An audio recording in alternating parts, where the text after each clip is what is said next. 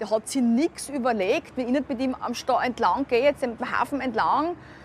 Und jetzt schon schau, er redet mit mir nichts, er sagt nichts. Dann setzt er sich zu mir in ein Gyroslokal. Ich meine, das ist wie wenn ich in Wien in einen Würstelstandel gehe. Und der spottet jetzt jegliche Aussprache, weil da gibt es ja noble Würstelstandeln. Ja.